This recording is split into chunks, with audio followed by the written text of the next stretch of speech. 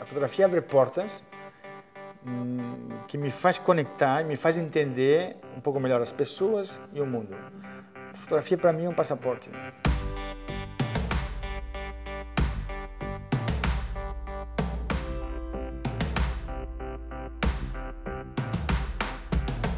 Eu comecei como fotógrafo editorial e publicidade e num certo momento eu achei que os conhecimentos que eu tinha editoriais de moda e a técnica de publicidade, que se eu juntasse isso, eu poderia fazer alguma coisa diferente no mercado de nu.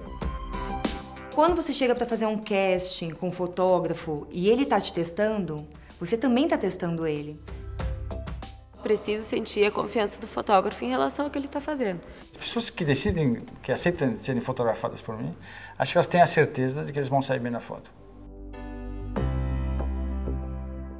Só porque a foto foi difícil de fazer, isso não quer dizer que a foto é boa.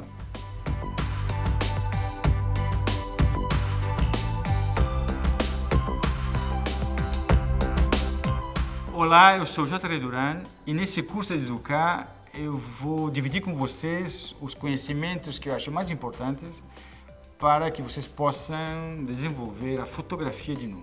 Vamos falar sobre o que é um editorial, sobre como construir imagens que transmitem essa sensação de intimidade. Vou mostrar para vocês uma sessão completa em estúdio e outra em locação. Você vai descobrir que é possível obter belas imagens em situações adversas sem precisar se desesperar nem se complicar a vida. A simplicidade é o segredo de tudo. A maneira de fotografar é uma só, é fotografando. E só tem dois tipos de fotos, foto boa e foto ruim.